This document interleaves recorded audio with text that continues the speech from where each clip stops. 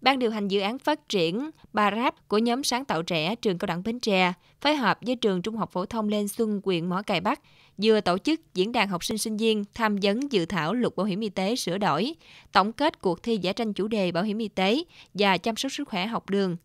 Các học sinh được giới thiệu đôi nét về dự án thúc đẩy tham vấn ý kiến luật sửa đổi bổ sung một số điều về bảo hiểm xã hội thông qua nghiên cứu tác động của giáo dục, phổ biến pháp luật trong các trường học ở tỉnh Bến Tre, gọi tắt là dự án BARAP.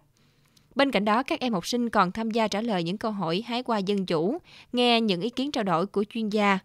Thông qua những ý tưởng được gửi gắm trong các bức tranh, các em học sinh đã mang đến nhiều thông điệp như tham gia bảo hiểm y tế không chỉ bảo vệ lợi ích cho mình mà còn vì cộng đồng, tuyên truyền để mọi người cùng nhau mua bảo hiểm, lợi ích khi tham gia bảo hiểm y tế.